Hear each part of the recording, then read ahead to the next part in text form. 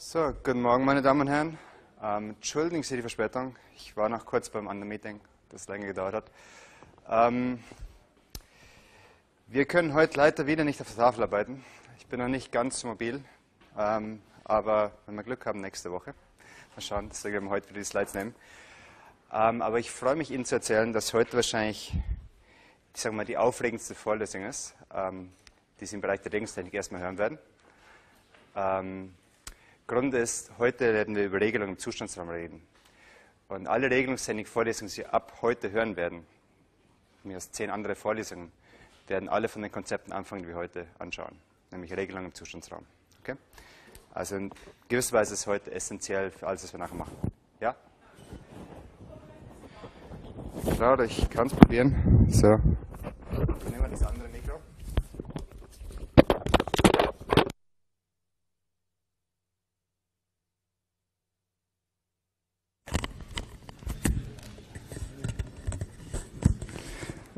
Okay, ist das besser so? Wunderbar. Gut, dann fangen wir doch mal an. Ähm, Regelsysteme im Zustandsraum.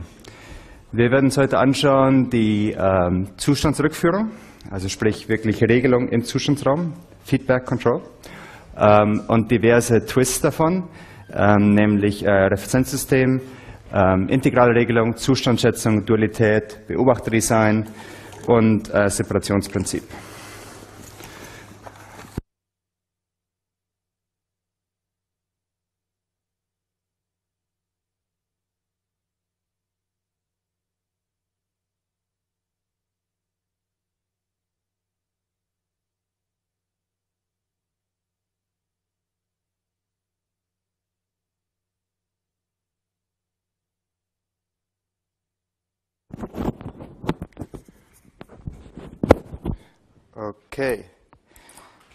Hoffe, das ist laut genug. Besser? Ja. Ähm, wir beginnen mit der Zustandsrückführung. Ähm, und zwar, was ist das Prinzip? Bisher haben wir uns Regler angeschaut, wo wir den Ausgang nehmen und ihn durch einen linearen Filter, einen PD-Regler, ähm, zurückfiltern auf den Eingang. Heute schauen wir uns Regler an, die proportional Regler sind, linear proportional als Funktion des Zustandes. Also ein Regler, der Form hat u ist minus k mal x, wobei x das Zustandssystem ist. Und wie ich Ihnen heute zeigen werde, mit dieser Zustandsrückführung können Sie im Prinzip alle Regler designen, die wir bisher designt haben und auch noch wesentlich weitere. Also was ist das Prinzip? Ähm, wir schauen uns einfach erstmal ein State-Space-System an. x Punkt ist f von x plus gu. Wir nehmen an, wir können alle Zustände messen. Okay? Das ist erstmal die Annahme für die erste Hälfte der Vorlesung. Wir können alles messen. Wir werden das nachher relaxen gegen Ende der Vorlesung, wenn wir Beobachter designen. Wir können also den Zustand x messen und wir führen ihn zurück über ein negatives proportionales Feedback. Minus kx, wobei k eine Matrix ist. Und wie Sie sehen, wenn wir das machen, können wir die äh, Zustandsmatrix ändern, nämlich von f auf f minus gk. Und wenn wir das k schlau wählen, können wir im Prinzip diese Matrix designen, wir wollen. Wir können wieder Pole platzieren und ähnliches. Wir werden auch sehen, wie wir diese Matrix optimal wählen können in der nächsten Vorlesung. Ähm, wie Sie sehen, wenn wir diese Zustandsrückführung haben, können wir auch die charakteristische Gleichung der Closed-Loop-Matrix ändern. Die ist nämlich gegeben als Determinante SI minus F minus GK. Und die Idee, die wir jetzt in dieser Vorlesung erstmal anschauen, ist, können wir diese Matrix so wählen, die K-Matrix, sodass wir die Pole beliebig hinschieben können, wo wir sie gerne hätten. Die Pole dieser äh, Closed-Loop-Matrix. In der nächsten Vorlesung werden wir anschauen, wie können wir diese Matrix K wählen, sodass wir ein optimales Feedback kriegen. Optimal im Sinne von, dass wir einen quadratischen Integralfehler minimieren. Okay, schauen wir uns erstmal diese Frage an. Ähm, natürlich die erste Frage, die wir klären müssen, ist, können wir das überhaupt? Können wir alle Pole hin und her shiften? Und wenn ja, wie? Okay? Wir werden uns zuerst die zweite Frage anschauen, nämlich wir nehmen an, wir können die Pole hin und her shiften und dann werden wir uns eine Bedingung herleiten, wann das funktioniert. Äh, fangen wir an mit einem Beispiel. Das Beispiel lässt sich sehr leicht verallgemeinern. Ähm, wir haben hier einen äh, ungedämpften Oszillator, System zweiter Ordnung, also das im Frequenzbereich s plus äh, minus Omega 0 Quadrat. Also wir haben hier zwei Zustände. Hier ist ein Integrator, hier ist ein Oszillator mit Frequenz Omega 0. Wir würden gerne diese beiden komplexen Pole verschieben auf zwei reelle Pole äh, mit minus 2 Omega 0. Okay. Ähm, dieses System wäre dann stabil. Ähm, das heißt, wir wollen natürlich Frequenz verdoppeln und die Dämpfung von 0 auf 1 erhöhen. Machen wir doch einfach mal genau diesen Ansatz. u ist minus kx und überlegen uns, wie müssen wir das k wählen, sodass wir das Ziel erreichen. Ähm, also das gewünschte Polynom des geschlossenen Kreises, das beide Pole bei minus Omega 0 hätte, wäre ähm, bei 2 Omega 0 wäre s plus 2 Omega 0 Quadrat, was wir ausschreiben können, s Quadrat plus 4 Omega 0 s plus 4 Omega 0 Quadrat. Das wäre das gewünschte Polynom des geschlossenen Kreises. Ähm, die charakteristische Gleichung des geschlossenen Kreises errechnet sich aus SI minus F plus GK, die Determinante davon. Ähm, wir können das in dem Fall leicht ausrechnen. Wie Sie sehen, ähm, das System, das wir uns anschauen, ist sogar gegeben in Regelungsnormalform, wenn Sie sich daran erinnern, von der letzten Vorlesung. Wir haben hier eine 1 und hier unten haben wir das charakteristische Polynom. Der Eingang wird auf den zweiten Zustand. Wenn wir jetzt diese äh, Determinantenrechnung ausführen, wie Sie sehen, dass K1, K2 kommt durch diese 0-1-Matrix rein, sprich, es wird direkt diese zwei Elemente hier verändern.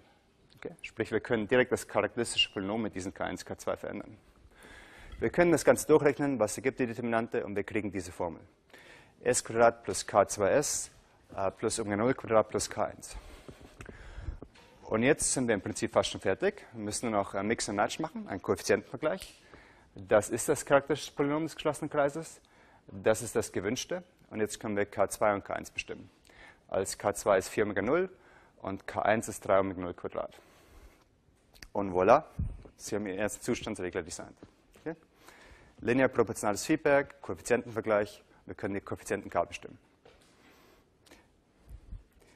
Ähm, wie schaut die Impulsantwort aus, wenn wir uns anschauen?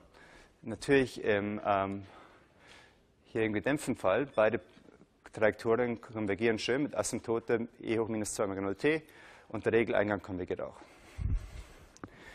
Ähm, was jetzt zu erwarten ist, weil wir die Pole auf ähm, Realteil minus 2 mal 0 gesetzt haben. Wie läuft das im Allgemeinen? Nehmen wir mal an, wir können das System transformieren auf Regelungsnormalform. Sie erinnern sich vielleicht von letzter Vorlesung, das ist möglich genau dann und nur dann, wenn das System auch steuerbar oder regelbar ist. Falls System steuerbar regelbar ist, können wir immer diese Regelungsnormalform finden, in der die Koordinaten sind, ähm, dass die Systemmatrix, die F-Matrix, einfach eine Integratorkette hat. In der letzten Zeile steht das charakteristische Polynom der F-Matrix. Ähm, der Eingang geht durch den letzten Entry rein. Also die G-Matrix, die Input-Matrix, ist einfach 0, 0, 0 und eine 1. Da hier steht das charakteristische Polynom. Das sehen, wenn ich jetzt hier G mal K nehme, dann kriege ich eine neue Matrix, die genau hier K1, K2, K3 und so weiter hätte. Sprich, ich kann all diese Koeffizienten verändern, wenn ich in der Regelungsnormalform bin. Wie schaut das im Konkreten aus? Ähm, F minus GK, also G ist die Matrix 01, K ist einfach ein, ein Zeilenvektor, K1, K2 und so weiter bis Kn. Schreiben wir das hin und wir kriegen ähm, diese Systemmatrix geschlossenen Kreises. Wie Sie sehen, ist es auch eine Regelungsnormalform. Hier ist die charakteristische Gleichung dieses ähm, Systems. Und wie Sie sehen, können wir jeden einzelnen Koeffizienten durch k ändern. Zum Beispiel, wenn wir jetzt eine ähm, gewünschte charakteristische Gleichung hätten, die so ausschaut, ähm, S hoch n plus äh, Pn, äh, ja, Pn S hoch n minus 1 plus und so weiter plus P2S plus P0 gleich 0. Wie Sie sehen, können wir dann einfach Mix and Match machen, Koeffizienten vergleichen und können aus den gewünschten Polen direkt die Ks berechnen. Okay? Sprich, sobald das System Regelungsnormalform ist, können wir die Pole hinschieben, wo wir sie gerne hätten, des geschlossenen Kreises. Und wann kommen wir in Regelungsnormalform? Genau dann und nur dann, wenn das System steuerbar ist. Also in unserem Fall können wir jetzt hinschreiben, wirklich ein Theorem. Oh, Entschuldigung.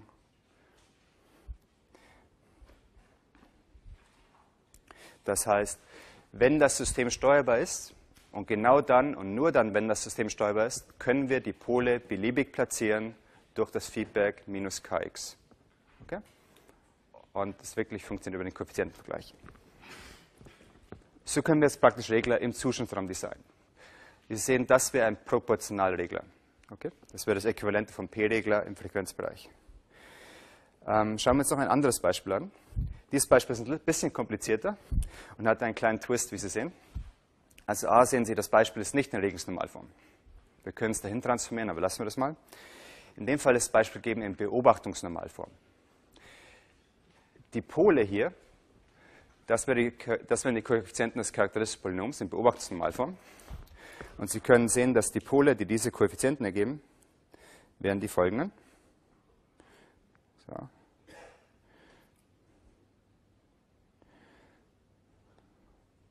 Na? Die Pole hier wären P1 gleich minus 3, P2 gleich minus 4. Diese zwei Pole würden Ihnen genau diese Koeffizienten ergeben. Was ist in der Input-Matrix, in der B-Matrix, in der Regungsnormalform, äh, in der Beobachtungsnormalform sehen Sie hier die, ähm, die Nullstellen. Hier sind sie B1, B0 und so weiter, die Übertragungsfunktion. Wie Sie sehen, haben wir hier eine Nullstelle bei Z0. Das ist die Nullstelle. Das sind die Pole. Okay, vielleicht können Sie sich in der letzten Vorlesung daran erinnern, haben Sie mal ähm, angeschaut, die Eigenschaft, dass Systeme ihre Steuerbarkeit oder Beobachtbarkeit verlieren, wenn wir gemeinsame Pole oder Nullstellen haben, die sich eventuell kürzen. Tun wir mal konstruktiv einen Regler designen, vergessen wir mal, was wir gelernt haben in der letzten Vorlesung, und dann sehen wir, ob das wirklich der Fall ist. Wie Sie sehen, werden wir die Regelenergie, die wir brauchen, gegen endlich gehen. Okay, das ist ein System. Wir spezifizieren einen geschlossenen Kreis, der gewisse Übertragungsfunktion hat, äh, eine gewisse Übertragungsfunktion oder in dem Fall charakteristisches Polynom, einfach ein System mit Dämpfung, äh, 2 Zeta Omega ähm, ist Dämpfung und Omega Quadrat ist die Frequenz. Tun wir das mal einsetzen. Okay, also Determinante von ähm, SI A0 minus B0K gibt Ihnen das folgende. Also diese Gleichung hier ist wieder die Determinante von SI minus A0 minus B0K.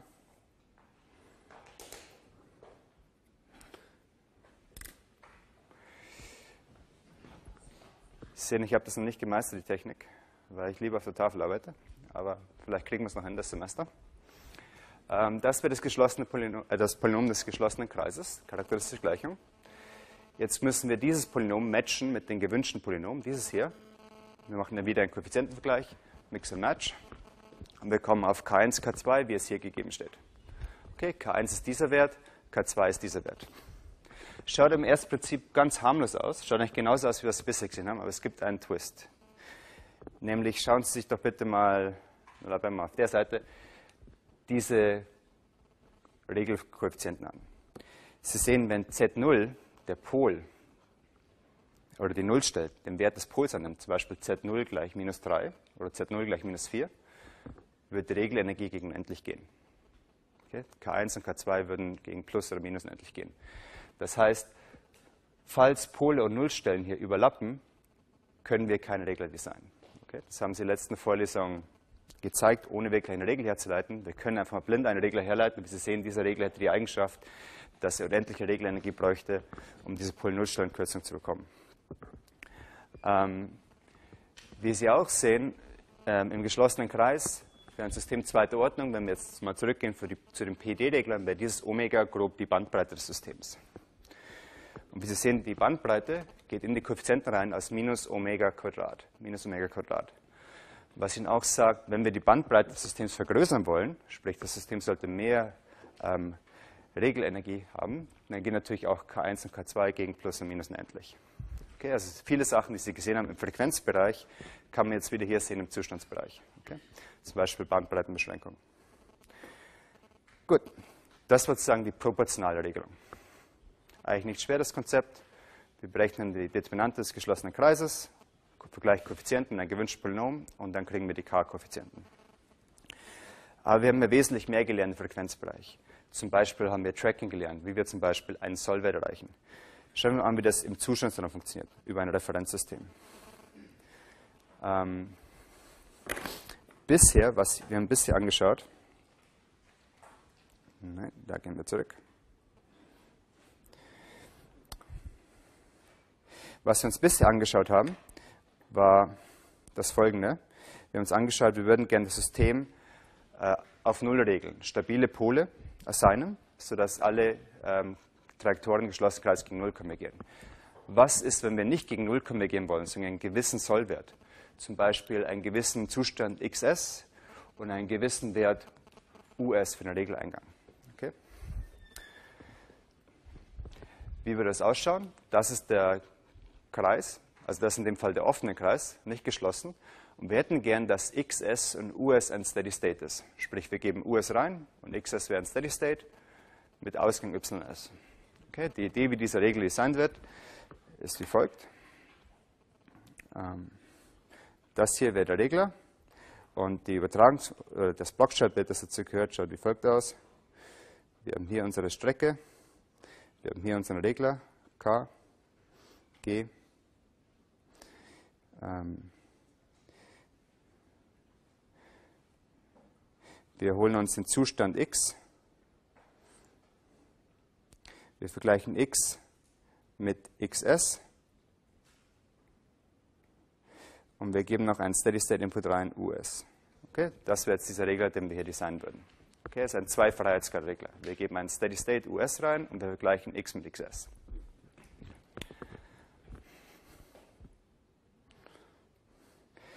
Wie Sie sehen, diese Zwei-Freiheitsgrad-Regel hat ähm, ein paar Nachteile, nämlich Sie müssen sowohl US als auch XS designen und US und XS hängen über diese gleich zusammen. Können wir das eventuell auch über einen Input, einen Freiheitsgrad machen? Wie Sie wissen, im Frequenzbereich haben wir uns Regeln angeschaut, die hatten eher die Form, dass wir ähm, die diese Form hatten. Das heißt, wir hatten eine Strecke, eine Strecke G, wir hatten einen Regler K. Wir haben den Regler verglichen mit einer Referenz und haben das reingegeben. Okay? Und offensichtlich, diese zwei Blockschaltbilder, die ich gerade gezeigt habe, schauen auf den ersten Blick nicht wirklich kompatibel aus. Okay? Im Frequenzbereich brauchen wir nur eine Referenz, also scheinbar brauchen wir im Zeitbereich, im Zustandsraum zwei Referenzen. Wie kann man diese zwei einander überführen? Das funktioniert über das Referenzsystem. Nämlich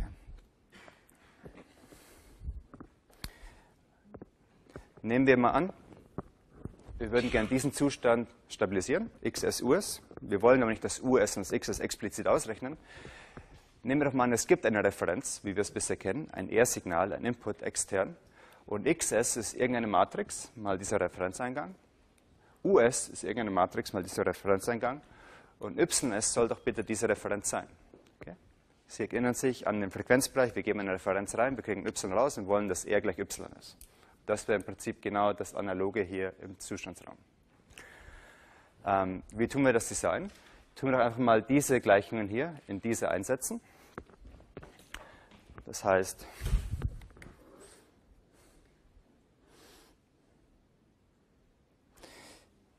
wir nehmen diese Gleichung und diese Gleichung und tun beide einander einsetzen und kriegen dann genau diese heraus. Hier.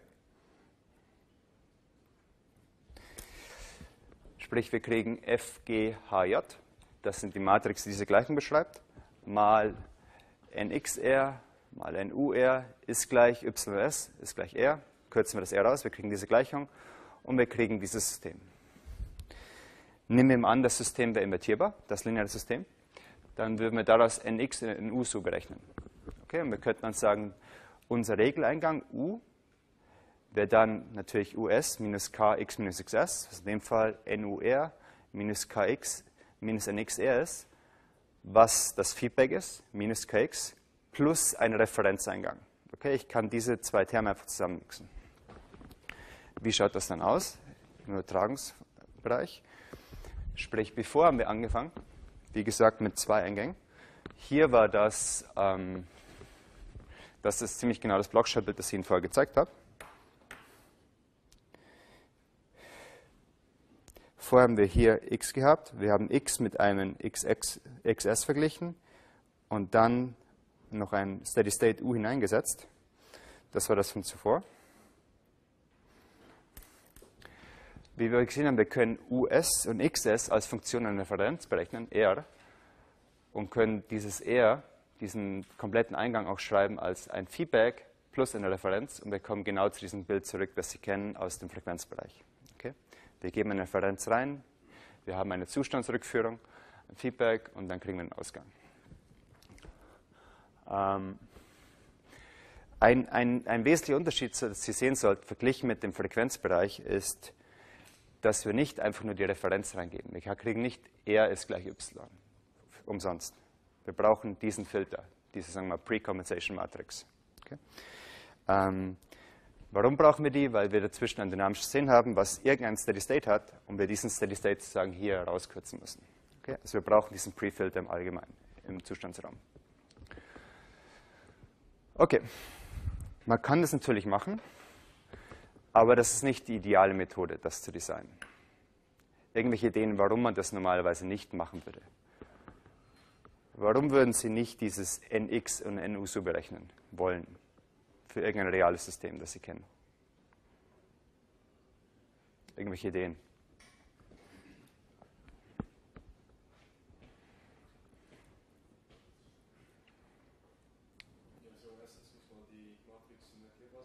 Okay, ja. Weitere Nachteile, die noch jemand ausfallen? Das stimmt, die Matrix muss invertierbar sein, ja. Klar, wenn wir ein großes Thema haben, ist es wahrscheinlich nicht sehr leicht. Stimmt auch. Noch ein Nachteil, an den Sie sich, den Sie sich vorstellen können?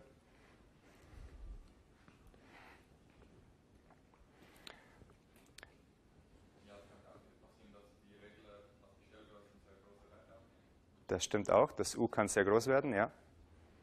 Weitere Nachteile?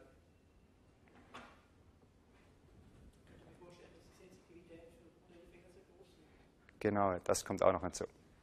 Das ist wahrscheinlich der gewichtigste Nachteil und der ist Robustheit.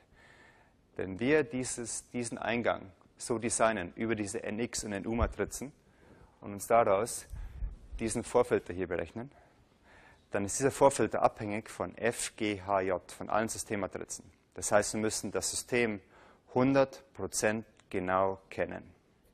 Keine Diskussion. Man kann leicht zeigen, wenn wir das System nur Epsilon nicht genau kennen, dass das eventuell katastrophal enden könnte. Okay, und die meisten Systeme, die uns über den Weg laufen, sind die meisten Linearisierungen von nichtlinearen Systemen. Das würde unter anderem heißen, wir haben immer den gleichen Linearisierungspunkt. Wir kennen alle Parameter, wir kennen die komplette Dynamik und so weiter und so fort. Okay? Also das ist eventuell nicht robust. Das ist wirklich Feed-Forward Control. Und wir haben ein Problem mit Invertierbarkeit, ähm, mit Dimensionen, Numerik und so weiter. Okay, also das ist nicht sehr, sagen wir mal, ähm, optimal. Schauen wir uns mal an, wie es funktioniert in dem Fall. Gleiches Beispiel vorher, der Oszillator, gegeben in der Regelungsnormalform. Ähm, wir haben diesen Ausgang, y ist gleich x1. Das heißt, wir haben die Position als Ausgang oder den Winkel. Wir können das System von zuvor berechnen. Also das nx in u berechnet sich aus dieser Gleichung. Ähm, wir können in dem Fall die Matrix invertieren, kriegen nx 1, 0, nu gleich 1 und das n quer rechnet sich als 4. Und in dem Fall kriegen wir diese Trajektorien, die wirklich genau das machen, was wir sollen. Wir geben einen Sprung rein, er ist ein Step-Input, x1, was der Ausgang ist, konvergiert gegen 1, das ist wirklich das y. Und alle anderen Zustände konvergieren gegen 0. In dem Fall x2 konvergiert gegen 0. Und der Steady State von u ist dieser hier. Also nur um das kurz Ihnen zu verdeutlichen, das hier wäre das y und wir geben einen Sprung rein. Okay? Ein Step Input 1 und wir konvergieren gegen 1. Das heißt, es funktioniert wunderbar und es funktioniert auch wunderbar immer, solange wir alles invertieren können und solange das System so passt, wie wir es gerne hätten. Okay. Ähm, jetzt haben wir schon die Nachteile angesprochen, wenn wir diesen perfektes Tracking haben wollen eines Eingangs, eines Schritteingangs. Und dieser Vorfilter funktioniert, aber hat natürlich seine Nachteile. Ähm, Im Frequenzbereich haben Sie einen ganz anderen Regler kennengelernt, den Sie benutzen, um einen gewissen Setpoint zu erreichen. Und das wäre der PI-Regler, wie Sie wissen. Ja. Der PI-Regler hat wirklich die Eigenschaft, dass die Sensitivität gegen Null geht, äh, die Übertragungsfunktion GK gegen endlich und wir haben keine bleibende Regelabweichung. Wir können jeden Step-Eingang perfekt tracken. Das wäre der PI-Regler im Frequenzbereich. Schauen wir uns mal, ob wir den Pi-Regler auch im Zustandsraum designen können. Wie würde das aussehen? Also Integralregelung im Zustandsraum. Wie gesagt, der Nachteil der Methode, wenn wir ein Referenzsystem haben, es ist wirklich Feed-Forward Control und es ist wirklich basierend auf Inversion aller Systemmatrizen. Wir müssen die Version durchführen können und wir müssen die Systemmatrizen perfekt können. Okay. Jetzt würden wir natürlich das gerne komplett modellunabhängig machen. Können wir Tracking erreichen, ohne dass wir das Modell können, wie zum Beispiel ein Pi-Regler. Okay. Versuchen wir mal den Integralregler im Zustandsraum nachzubauen. Was macht der Integralregler im Frequenzbereich? Also der Pi-Regler, er hat ein proportionales Feedback, U ist minus kx, das kennen wir schon. Und dann hat er noch ein Integralfeedback, das Integral des Fehlers. Okay. Schauen wir uns das mal an, das wäre unser System hier x.fx plus gu, y ist hx. Und jetzt würden wir gern perfektes Tracking des Ausgangs erreichen. Der Ausgang soll den Eingang perfekt tracken. Das heißt, ein bestimmter Fehler soll gegen 0 gehen. In dem Fall ist der Fehler na, der Ausgang, y, minus die Differenz. Okay? Und wir integrieren diesen Ausgang. Also, das hier ist unser y. Wir integrieren diesen Ausgang. x Punkt ist gleich der Fehler. Was würde das heißen? Angenommen, wir könnten jetzt diesen Fehler gegen 0 stabilisieren, also xi Punkt gleich 0, das wäre äquivalent zu y gleich r. Okay? Das ist die Idee dahinter. Das war auch die Idee zuvor im Frequenzbereich, nur haben wir es nie so hingeschrieben. Okay? Wir schreiben den Fehler hin, wir integrieren ihn. Angenommen, wir können Zustand xi gegen 0 stabilisieren, haben wir diesen Fehler gegen 0 stabilisiert. Okay? Das heißt, wir führen einen neuen Zustand ein, xi Punkt der y minus r heißt, zum Beispiel minus der Fehler, und, oder xi ist das Integral und das wäre ihr pi-Regler. Deshalb, wir kriegen ein neues System. Ich habe noch kein proportionales Feedback hinzugefügt. Was das Altsystem ist, x Punkt ist fx plus gu und y ist hx plus den Integralfehler. Der heißt xi Punkt ist y oder h mal xi minus die Referenz. Und jetzt benutzen wir das u unseren Regeleingang, um sowohl das System zu stabilisieren, als auch den Integralfehler. Okay? Gleiches Prinzip wie zuvor. Wir wählen wieder ein proportionales Feedback. U ist minus Kx, in dem Fall minus K1x, was den Zustand stabilisiert und äh, was den Integralfehler stabilisiert, ein K0, was den Zustand stabilisiert. Und versuchen das System damit zu stabilisieren. Okay? Also die Struktur ist dann wirklich wie folgt. Wir haben bevor unser proportionales Feedback, Zustandsfeedback, U ist minus Kx. Wir bauen einen extra Zustand, xi, der die Eigenschaft hat, dass xi Punkt gleich y minus Differenz ist. Und wir wollen das Gain K1 designen, sodass das Ganze stabilisieren. Und wie Sie sehen, das Problem, das wir jetzt lösen müssen, ist genau das gleiche wie vorher. Wir haben irgendein Closed-Loop-System, wir haben ein Feedback K, wir wollen das System stabilisieren.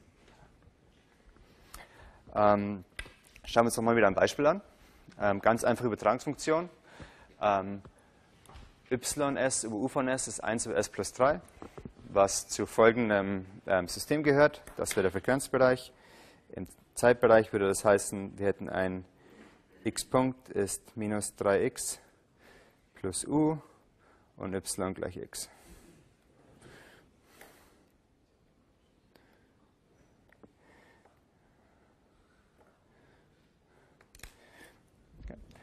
Das wäre unser System und wir würden jetzt gerne integrale Regeln designen, sodass wir eine Referenz perfekt tracken können. Und wir sollten, wollen das gerne tracken, wollen beide Pole sowohl für den Integralfehler als auch für den Zustandsfehler bei minus 5 legen. Okay? Das heißt, das charakteristische Polynom ist s plus 5 Quadrat. Das heißt s Quadrat plus 10s plus 25. Das ist das charakteristische Polynom, das wir erreichen wollen. Unsere Strecke mit dem zusätzlichen Zustand des Integralreglers ist dieser hier. Hier sehen Sie die Dynamik. x Punkt ist minus 3x plus u. Und hier sind Sie den Integralregler. Der Integralregler integriert den Fehler zwischen dem Ausgang und der Referenz. Ähm, nehmen den gleichen Ansatz wie zuvor. Ähm, Determinante von SI minus die Strecke plus die Eingangsmatrix mal k. Diese Determinante gibt uns im Allgemeinen eine Formel. In dem Fall heißt die Formel s plus 3 plus k0s minus k1. Und diese Formel wollen wir matchen mit dem gewünschten charakteristischen Polynom, was 10s plus 25 heißt, und können daraus berechnen, dass k1 und k0 sich zu 25 und 7 errechnen. Okay. Gleiches Prinzip wie bevor. Und jetzt haben Sie gelernt, wie wir den ähm, PI-Regler aus dem Frequenzbereich jetzt in den Zustandsraum konvertieren. Das ist sozusagen das Äquivalent vom PI-Regler. Ähm, schauen wir jetzt das Ganze mal an im geschlossenen Kreis. Das heißt, wir haben hier wieder unser, unser System. Das ist das x-Punkt, das minus 3x plus u. Ähm, wir stabilisieren das über ein Gain, das das äh, minus 7 mal x.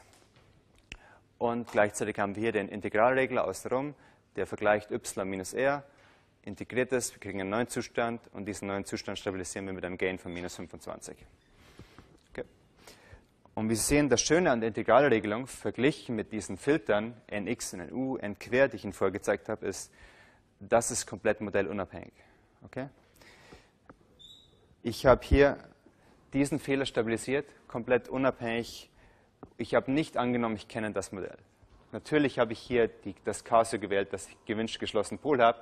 Aber wenn ich jetzt hier ein 3 plus Epsilon hinschreibe, wird das Ding immer noch funktionieren. Die Pole sind um Epsilon verschoben. Das heißt, dieses, das ist robust. Okay? Ist unabhängig vom Modell. Und es funktioniert wunderbar. Funktioniert genauso wie die Pi-Regler, die Sie bisher kennengelernt haben. Ähm, Jetzt hat alles, was ich Ihnen bisher gezeigt habe, aber einen riesigen, riesigen Haken. Wir müssen das komplette x messen können. Okay? Ähm, nehmen wir an, wir haben ein großes System irgendwo aus dem chemischen Bereich, typischerweise an die Tausende von Zuständen und vielleicht nur vier, fünf Messungen. Okay? Wie könnte man das jemals realisieren, dieses Zustandsraumfeedback? Okay? Das ist ein, ein Problem, das wir uns noch separat annehmen müssen. Das heißt, wir müssen irgendwoher eine, sagen wir mal, eine Messung kriegen. Dieser Block ist neu hier, weil wir das x nicht messen können. Wir müssen x irgendwie schätzen können. Wir schätzen es typischerweise aus Messungen und aus dem Eingang. Okay? Äh, das funktioniert mittels Beobachters, wo wir sehen, da können wir all diese Konzepte, die Sie angeschaut haben, wie Beobachtungsnormalform, ähm, Kalman-Filter und so weiter benutzen. So, bevor wir zur Zustandsetzung kommen, haben Sie Fragen zur rein proportionalen Regelung? Okay, wie Sie sehen, ich kann einfach ein Zustandsfeedback machen, U ist minus Kx. Ich kann das System stabilisieren. Ich kann ein PI-Feedback machen. Ich könnte sogar eine allgemeine Übertragungsfunktion, wie Sie sie im Frequenzbereich designen, realisieren. Genauso wie beim PI-Regler, wo ich hier gesagt habe, ich führe einfach einen extra Zustand ein, ähm, xi für das Integral, können Sie auch extra Zustände einführen für eine beliebige Übertragungsfunktion und das System damit stabilisieren. Okay? Gleiches Prinzip, funktioniert genauso, ähm, aber wollen wir nicht weiter eingehen. Der Nachteil an der ganzen Geschichte ist, wir müssen für diese Art von Feedback das komplette x kennen. Wir kennen es aber nicht. Deswegen müssen wir Zustand schätzen. Okay? Zustandschätzung, das nächste Thema. Also, fundamentales Problem. Alles, was wir gemacht haben, ist, wie hier steht, schlecht möglich, im Prinzip nicht realisierbar, weil wir typisch nicht, typischerweise nicht alle Zustände kennen. Okay. Dann ist die Idee, nehmen wir doch nicht die Zustände x selbst her, sondern schätzen wir die Zustände. Schätzen wir die Zustände über einen Simulator. Zum Beispiel x hat, hier ist der geschätzte Zustand. Und die einfachste Version, wie ich den Zustand schätzen könnte, ist wirklich, ich, ich simuliere einfach das System. Okay? Ich baue mir einen Simulator. Was dieses Ding hier ist.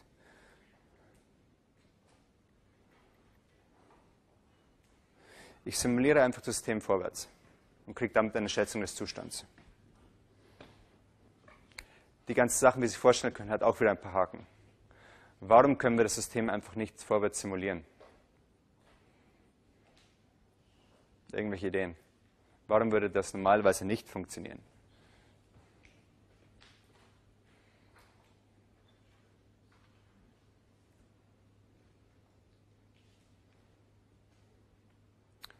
Das ist eigentlich keine schlechte Idee. Ich habe ein kompliziertes System. Ich kenne den Zustand nicht, aber ich kann es einfach modellieren über Simulink und simulieren. Und ich weiß den Zustand. Ja, dann brauchen wir ja kein Regelsystem mehr, sondern wir können auch Open Loop das Ganze steuern.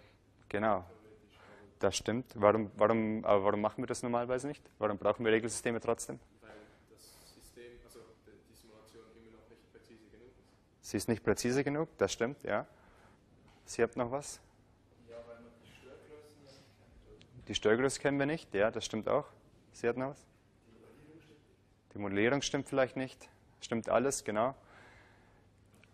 Alles gute Punkte. Nehmen wir noch einen viel einfachen Punkt. Angenommen, wir kennen das System perfekt und wir kennen die Störungen und, und, und. Warum wird es immer noch nicht funktionieren?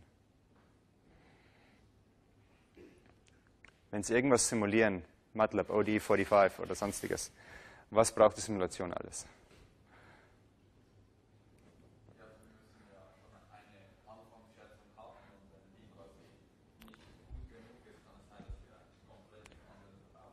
Genau, wir brauchen die richtige Anfangsbedingung.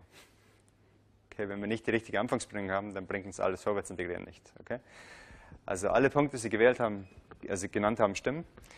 Also wenn wir einfach nur, wie hier auf dem Bild dargestellt, uns den Prozess anschauen, wir geben ein U rein und tun dementsprechend den Prozess simulieren, dann gibt es ein paar Probleme. Die Probleme sind einerseits, der Prozess hat eine Anfangsbedingung, die Simulation hat eine andere Anfangsbedingung. Es gibt hier eventuell Störgrößen. Es gibt Modellunsicherheiten und so weiter und so weiter. Deswegen klappt die Simulation im Allgemeinen nicht. Ähm, also das sind alles, sagen wir, Shortcomings. Man könnte sich auch den Fehler anschauen, den die Simulation hat gegenüber der Dynamik des Systems. Definieren wir mal Epsilon als den Fehler. Also Epsilon ist x minus x Herd. Dann hat Epsilon die folgende Dynamik. Epsilon Punkt ist x Punkt minus x Herd Punkt was f von x plus gu ist, minus f von x hat minus gu. Angenommen, der Simulator kriegt den gleichen Eingang wie das System, dann kürze ich das gu raus und kriegen f von x minus x hat, was f epsilon ist. Okay? Und wir haben diese Anfangsbedingung, sprich, wir haben das System ähm, epsilon Punkt ist f epsilon.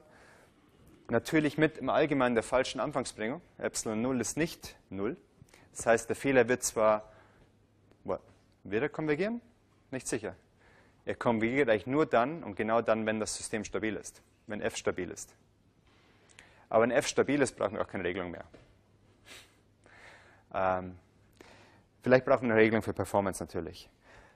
Angenommen, f wäre stabil, dann konvergiert der Fehler genau so schnell, wie die Dynamik konvergiert. Sprich, der Fehler ist genauso groß wie der Zustand. Mit anderen Worten, wenn Sie den Zustandschätzung wollen, nehmen wollen für Regelung, dann hat die Zustandsschätzung den gleichen Fehler, wie weit sie von Null entfernt ist. Mit anderen Worten, wir hätten gern, dass der Fehler viel schneller konvergiert als die eigentliche Physik. Ja? Wir wollen den Fehler innerhalb von ein paar Mikrosekunden auf Null haben, dass wir einen perfekten Zustand haben und damit irgendeine Regelung betreiben können. In dem Fall hängt die Konvergenz wirklich ab vom Open-Loop-System, was eventuell sehr langsam sein kann oder sogar instabil. Okay? Sprich, wir müssten uns überlegen, wie können wir diesen Fehlerterm eventuell stabilisieren wie können wir das sagen wir, schnell stabilisieren, dass der Fehler sehr schnell konvergiert und wir dann wirklich den, die Schätzung x Hert für Zustandsfeedback nehmen können. Und wie können wir das Ganze auch robust machen, sodass es unabhängig ist von irgendwelchen Modellierungsannahmen, die wir bei der Simulation machen. Ähm, Antworten auf die Frage gibt es nach einer kurzen Pause. Danke.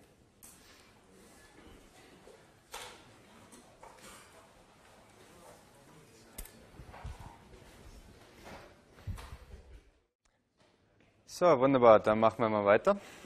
Ich darf Sie bitten, zur Ruhe zu kommen. Ähm, kurz einmal kleine Review von dem, was wir gerade angeschaut haben. Es sah wahrscheinlich auf den Slides ziemlich trivial aus, aber diese Idee der Zustandsrückführung ist wirklich, sagen wir mal, seit 1960, seit wir zum Mond geflogen sind. Übrigens, zum Mond sind wir geflogen über minus kx, nicht über PD.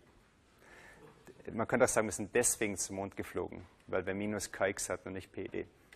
Okay, also seit dem Ende der 50er Jahre sind im Prinzip alle Regler basierend auf Zustandsrückführung. Linear, nicht linear, infinite dimensional und so weiter. Alle Regelkurse, die Sie von jetzt an hören werden, werden wirklich auf dieses Prinzip beruhen. Es sah wahrscheinlich sehr einfach so aus in diesen Slides, aber jetzt mal, der philosophische Paradigm Shift war damals sehr gewaltig, als man die Zustandsraumregelung entdeckt hat. Was wir uns bisher angeschaut haben, war, wir haben ein System, wir haben ein Feedback, wir nehmen an, dass wir direkt auf das System wirken können über das Feedback und wir können direkt den Zustand x messen. Okay? Und haben dann u ist minus kx, eventuell minus eine Referenz. Okay? Ich habe Ihnen gezeigt, wie Sie das k entwerfen können, wenn das System regelbar ist, nämlich indem wir einfach die Koeffizienten des geschlossenen Kreises, des charakteristischen Polynoms geschlossenen Kreises vergleichen mit den gewünschten Koeffizienten. Das ist sehr leicht eine Regelungsnullform. Ich habe Ihnen gezeigt, wie Sie Konzepte aus dem Frequenzbereich, zum Beispiel PI-Regelung, sehr leicht übersetzen können, dieses Setup in den Zustandsraum. Das einzige, woraus wir uns jetzt noch kommen müssen, ist, woher kriegen wir das x? Okay?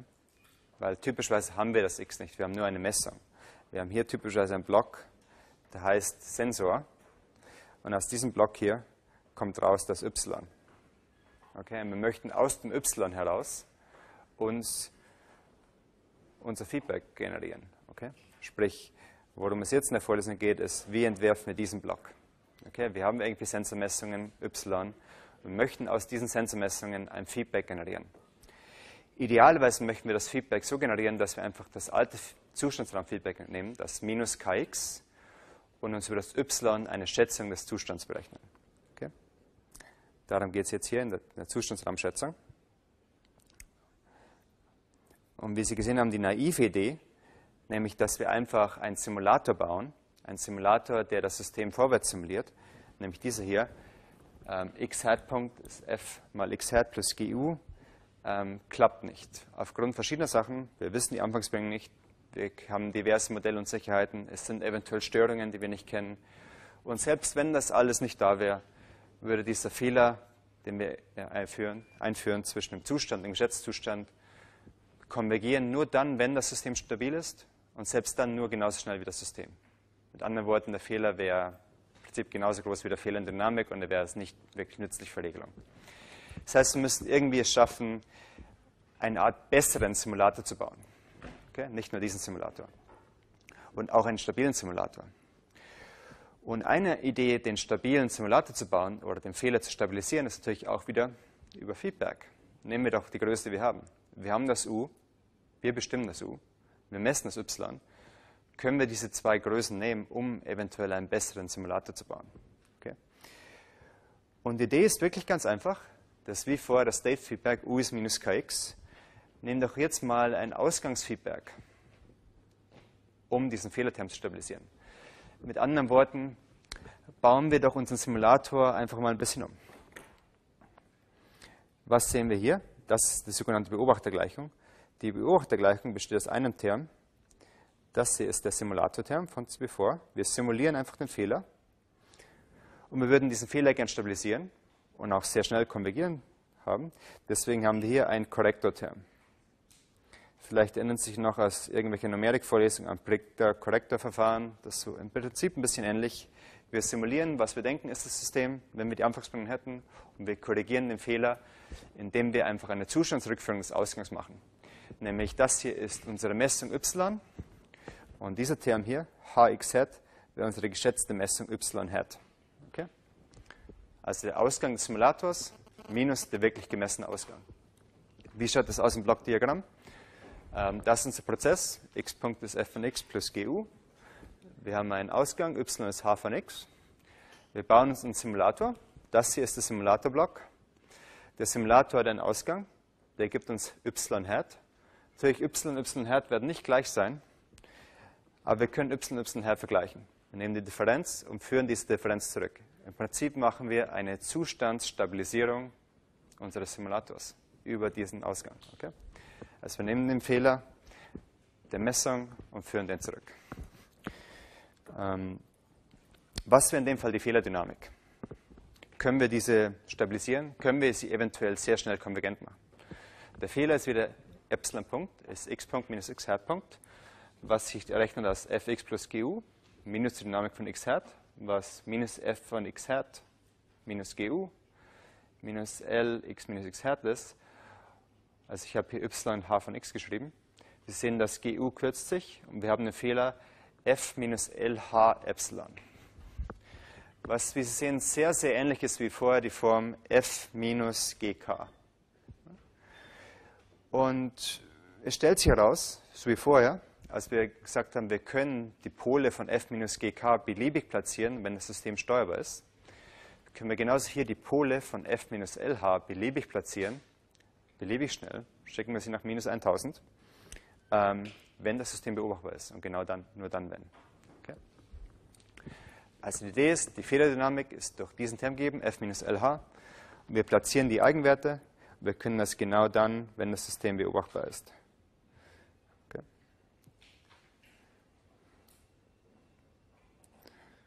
Aber im Prinzip ist das genau dieselbe Idee. Man sagt, das ist die duale Idee, wie vorher in der Zustandssammelrückführung. Wir können den Fehler des Simulator-Terms korrigieren, beliebig, wenn das System beobachtbar ist. Schauen wir an, wie das funktionieren sollte. Ähm, wieder unser Beispiel, der ungedämpfte Simulator. Ähm, ist gegeben, in dem Fall wieder eine Regelungsnormalform. Ähm, Integrator, hier ist die Frequenz, Omega 0 Quadrat. Ähm, und will gerne einen Beobachter bauen, der beide Pole auf minus 10 Omega 0 schiebt. Okay? Also irgendwo weit links, sodass der Fehler schnell konvergiert. Das heißt, unser gewünschtes, gesuchtes charakteristisches Polynom des Fehlers, der Index E steht für ähm, Error oder Estimator, ähm, ist s plus 10 Omega 0 Quadrat, was hier gibt zu dieser Formel, s plus 20 Omega 0 s plus 100 Omega 0 Quadrat. Wir können das wieder vergleichen mit der charakteristischen Gleichung, der charakteristischen Gleichung unseres Fehlers, f minus lh. Das heißt, wir schauen uns an die Determinante si minus f minus lh, was sich errechnet zu, in dem Fall s plus l1s plus l2 plus Omega 0 Quadrat.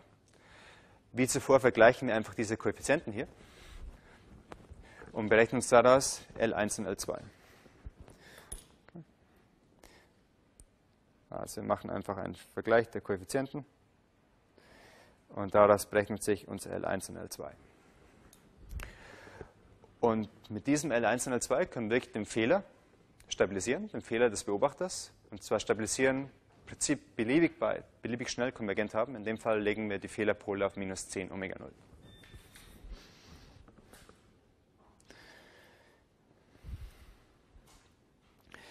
Ähm, wie vorher im äh, Zustandsrückführung habe ich Ihnen gesagt, es ist besonders leicht, das System zu stabilisieren, wenn es in Regelungsnormalform vorliegt, weil wir dann einfach wirklich nur die Koeffizienten vergleichen können mit den gewünschten Koeffizienten und daraus direkt das K berechnen. Ähm, beim Beobachtungsproblem ist es ganz genauso, nur dual. Es ist sehr leicht, den Beobachter zu designen, genau dann, wenn das System in Beobachtungsnormalform vorliegt. Kurz als Review, was ist die Beobachtungsnormalform? Ähm, wir haben hier die Integratorkette, hier im linken Block der Systemmatrix und in der letzten Spalte wir die Koeffizienten des charakteristischen Polynoms.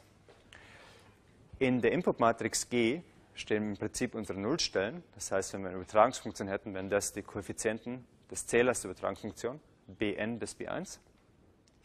Und was messen wir? Wir messen den letzten Zustand. Ähm, warum ist das natürlich sehr schön? Wenn wir den letzten Zustand messen, heißt es im Prinzip, wir können diese ganze Spalte messen. Und wir können über das Feedback ähm, L mal H im Prinzip genau die letzte Spalte beeinflussen. Denn L mal H wird uns geben eine Matrix, die ausschaut wie eine große Nullmatrix und hier steht dann L1 bis Ln. Okay? Also wenn das System in dieser Form vorliegt, dann ist es sehr leicht über LH das komplette charakteristische Polynom hier zu reshapen. Schauen wir uns das Ganze mal an. Ähm, wir nehmen mal wirklich mit diesem H und irgendeinem beliebigen Vektor L, setzen wir in diese Matrix, schauen uns an, was f minus LH gibt. Und Sie sehen hier, wir können hier ein komplett neues charakteristisches Polynom designen. Sprich, durch die Wahl von L können wir zum Beispiel die Koeffizienten a rauskürzen und neue Koeffizienten hinschreiben, wie wir sie wollen. Ähm, wie gesagt, wir könnten uns wieder eine, eine gewünschte charakteristische Gleichung ausdenken.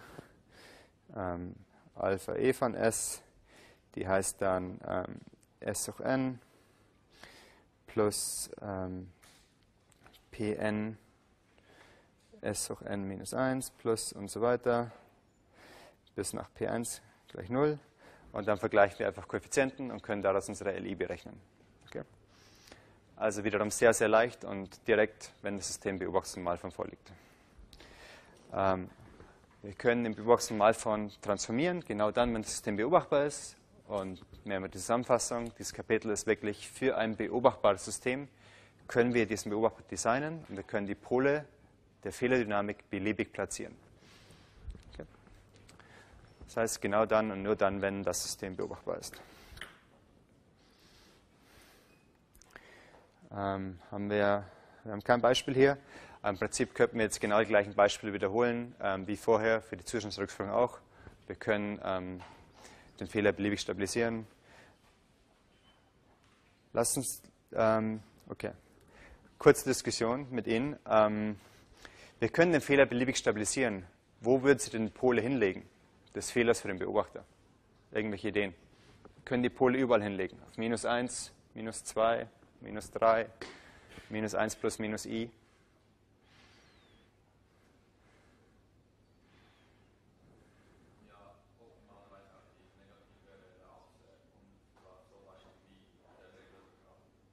Okay. Was meinen Sie mit so weit wie der Regler verkraftet? Müssen.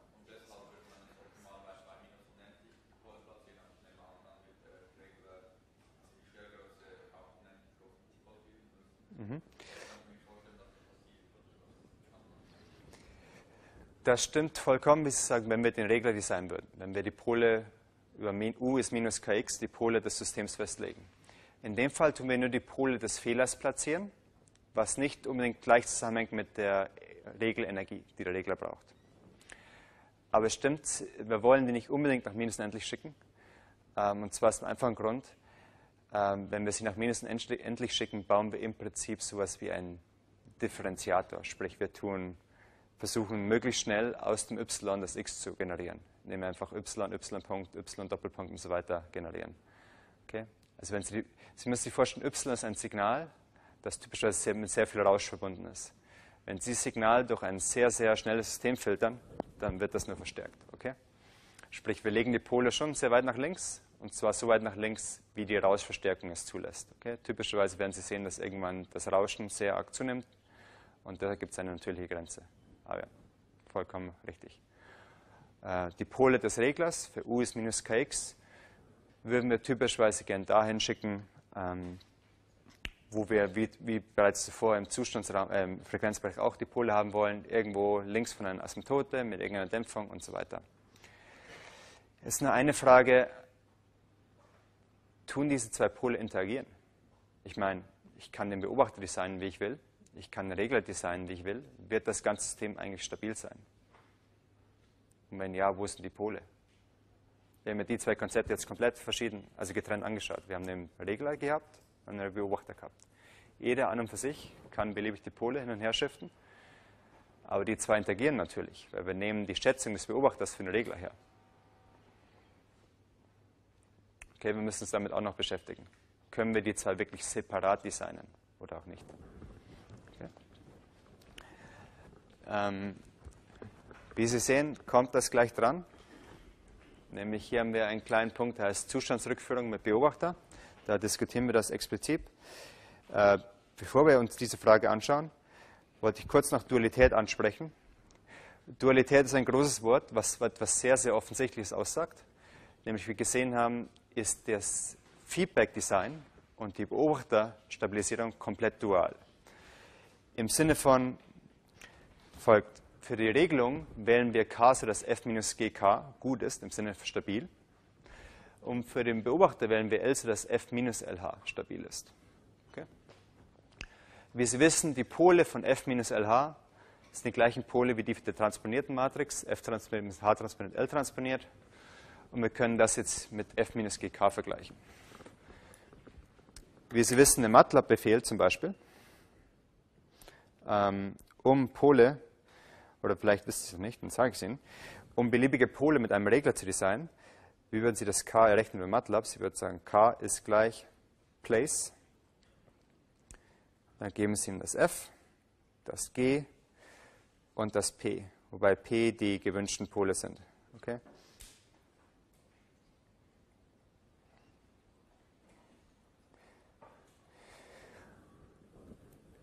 So würde ich jetzt praktisch mit MATLAB einen Regler K berechnen. Wie würden Sie MATLAB benutzen, um einen Beobachter zu designen? Wie würden Sie das L berechnen über MATLAB?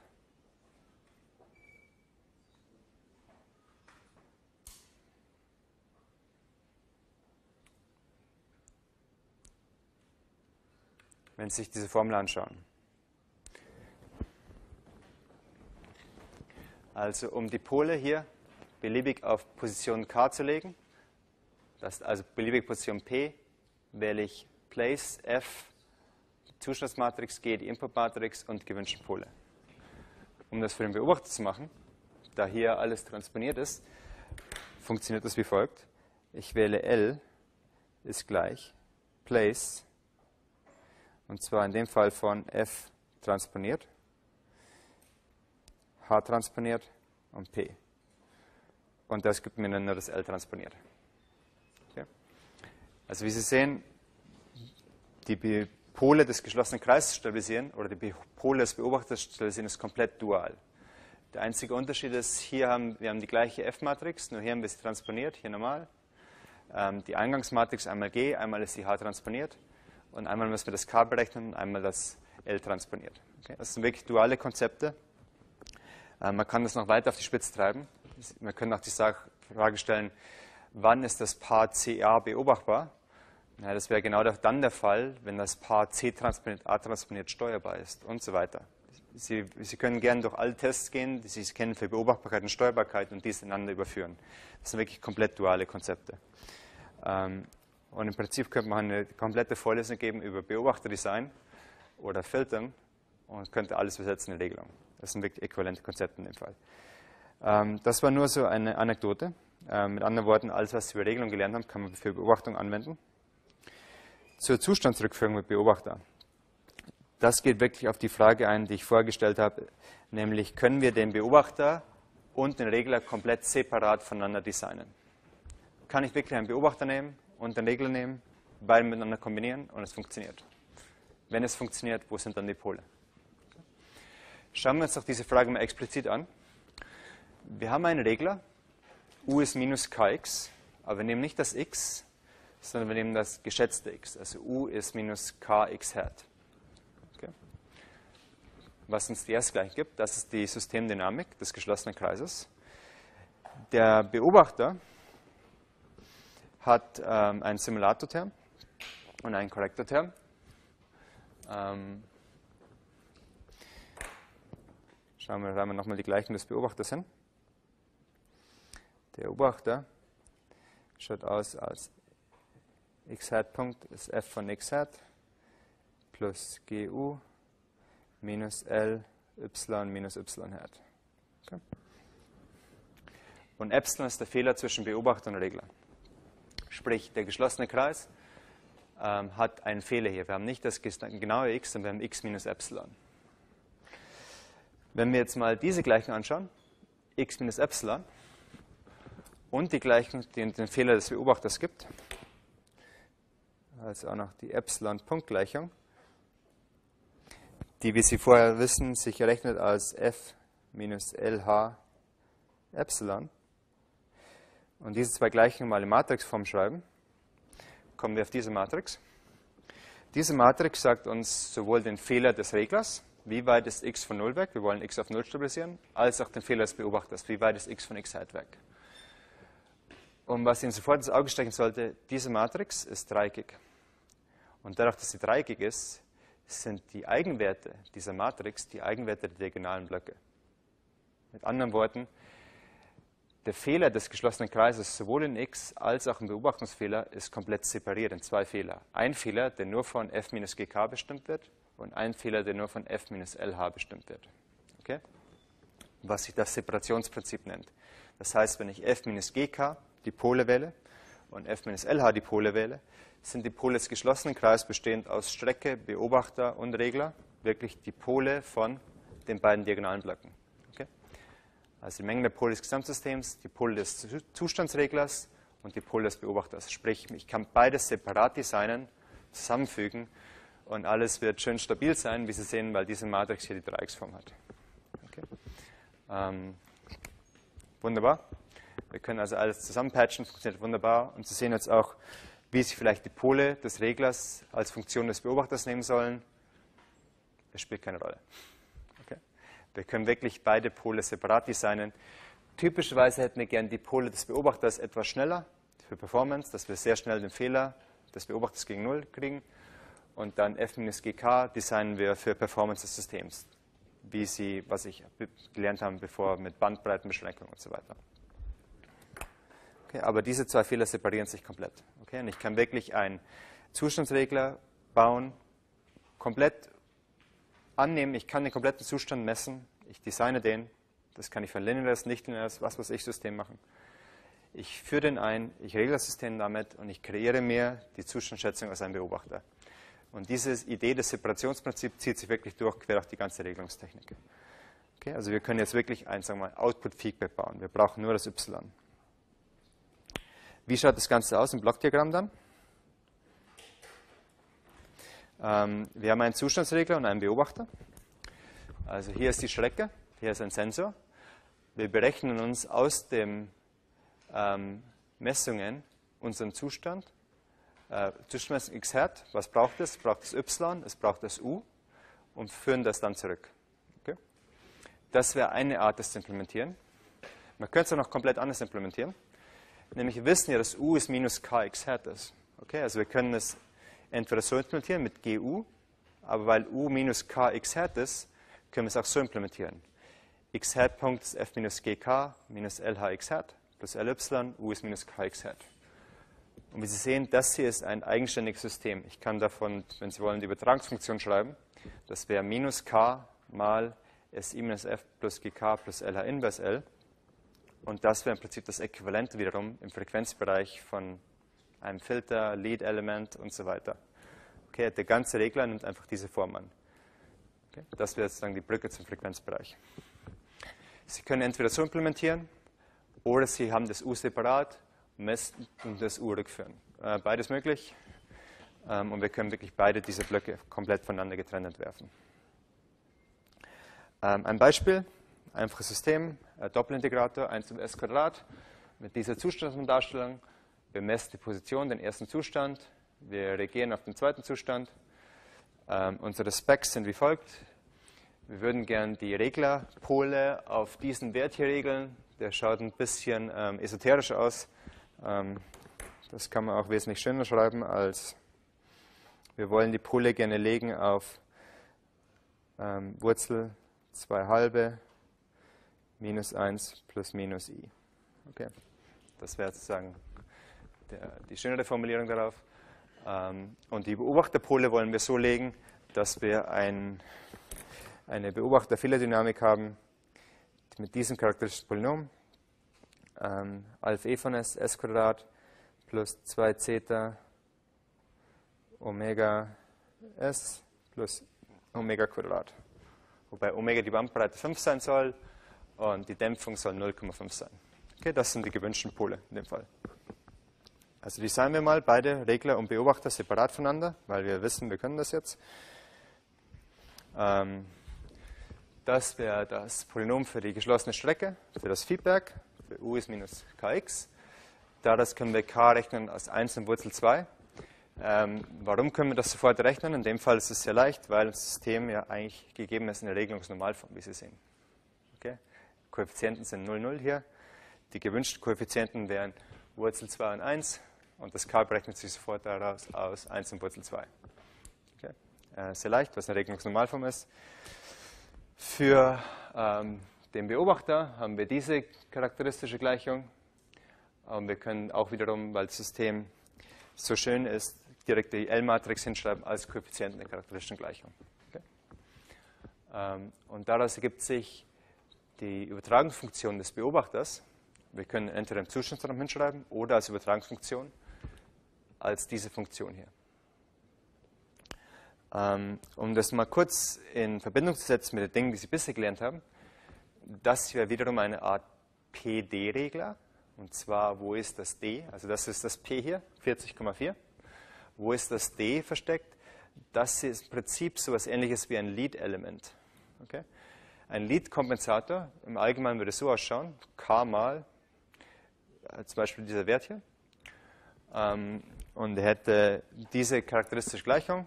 Also das hier wäre unser, na, wo bist du?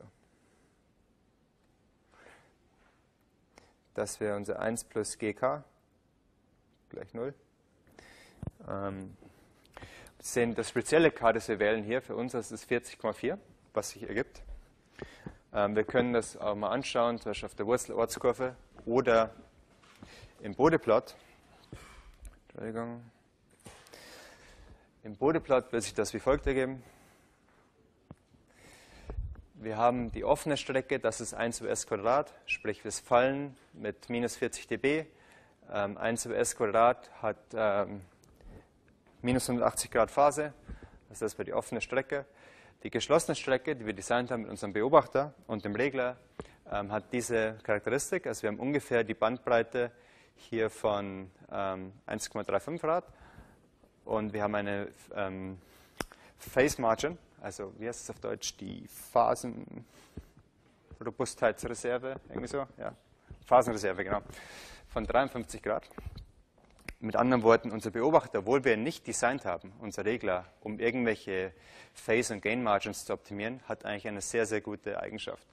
Also einen hohen Phase-Margin und die Bandbreite ist ungefähr bei 1, was ungefähr bei den Polen des Reglers ist. Okay? Mit anderen Worten, die Pole des Beobachters und die Pole des Reglers sind wirklich separiert.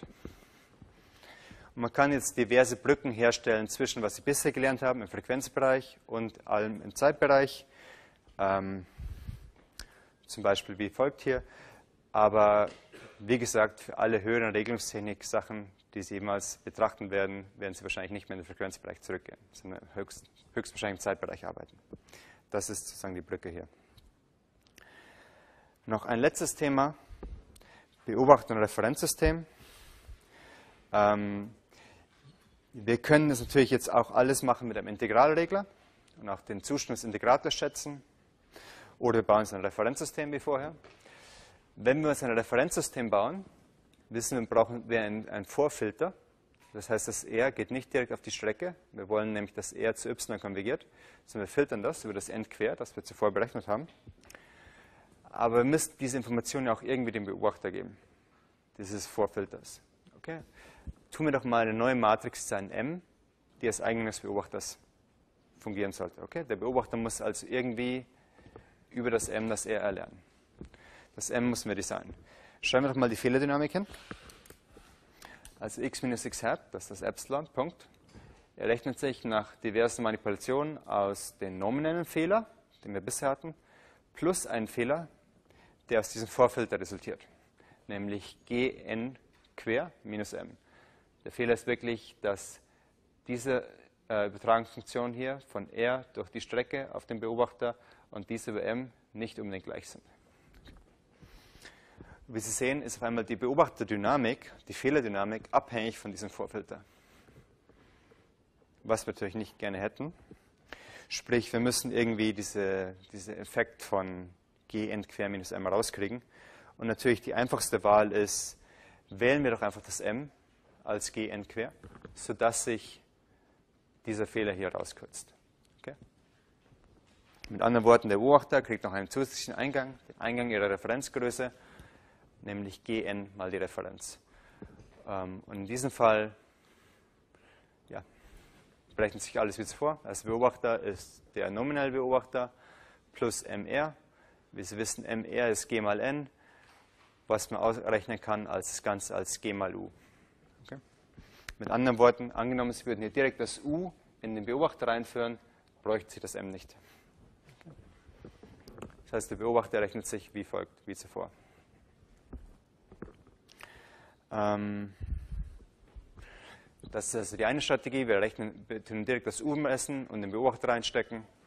Oder die Alternative, angenommen, wir wollen das U nicht messen, sondern wollen das wirklich U ist minus kx hat nehmen, diese Funktion hier, dann müssen wir aber auch diese Referenz über m ist gn quer hineinführen, dass die Fehlerdynamik 0 ergibt.